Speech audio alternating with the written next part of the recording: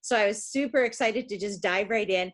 And I started looking at the ATNR, and I had been doing some uh, visual ocular reflex type things in my home health practice anyway. So I know how important eye movement is to reduce uh, dizziness and things. And I had a woman three days after I started the course. I had her do, she was bed bound. She could not roll onto her side without vomiting. Oh, wow. Because she was so dizzy. So I thought, let me just try this course material. And she hadn't been out of bed in six months and she had bags all over the bed so that she could throw up if she needed to. It was really, really awful. And, and she was only 70. Okay. So what happened was is she she couldn't roll. She couldn't roll without getting sick. And I said, All right, we're gonna try something. I asked her to sit up in bed. Even that made her dizzy on a 45.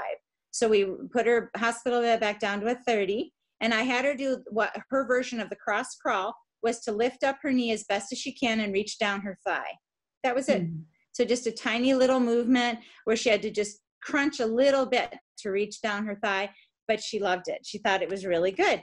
And then for her dizziness, I decided to do the eights with the eyes.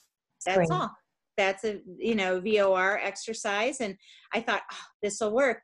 She was seen by the physical therapist three days later, and the physical therapist said, "Come on, sit up on the side of the bed." She goes, "Honey, I haven't done that in nine months," and the physical therapist said, "Just try." And she says, okay. And she did it. And she sat on the edge of her bed for 13 minutes. She wow. timed it, the physical therapist timed it. And that was one lesson after I had heard about your course for three days.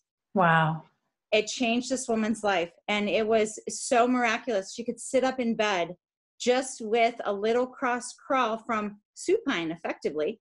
Right. And yeah. the eye movements and she's not dizzy anymore. She could roll onto her side. Little little nausea, but not dizzy. So I was wow. thrilled.